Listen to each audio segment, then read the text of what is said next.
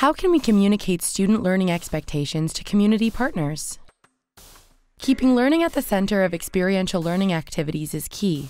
While this may seem simple when it comes to in class experiential learning activities such as simulations or even with field experiences that use the external community as a living lab, this becomes more complex with some forms of community engagement, including work integrated learning.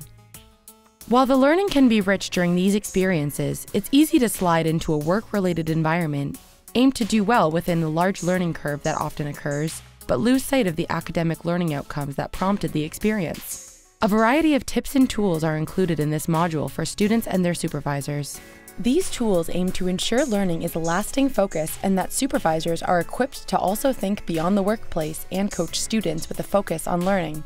Working with new industry partners can, the first time through, can be a bit of a learning curve for everyone involved. So there's always a bit more, I think, effort involved in creating and fostering those new relationships. A lot of it is expectations, managing those expectations, the challenges of, uh, of those expectations, I think, are better managed through embedding some of those evaluation mechanisms right within the course. That project management course is a perfect mode for delivery for us, yeah. Failing is a learning opportunity you get to see, okay, I tried something, it didn't work. Now I need to try something different. Doesn't mean that the different thing you try will work, but recognizing what you're doing is not good enough and changing it and thinking about why I need to change it is definitely a valuable learning opportunity. A large piece of the project has to do with the client relationships um, surrounding the project and the project management.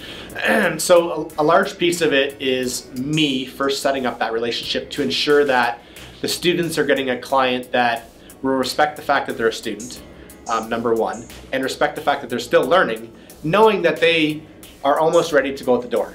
So there may be some bumps along the way, but there's nothing that we can't resolve. The internship is a growth experience for our students where they are to be exposed to various facets of human resources management.